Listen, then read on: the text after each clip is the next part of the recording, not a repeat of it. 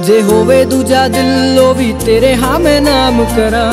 ਆਪਣੇ ਨੂੰ ਖੁਦ ਤੁਝ ਤੇ ਕੁਰਬਾਨ ਕਰਾਂ। ਤੂੰ ਮੇਰੇ ਕੋਲ ਸਾਰੀ ਦੁਨੀਆ ਤੋਂ ਦੂਰ ਹੋਵੇ, ਦੁਆ ਹੈ ਰੱਬ ਤੋਂ।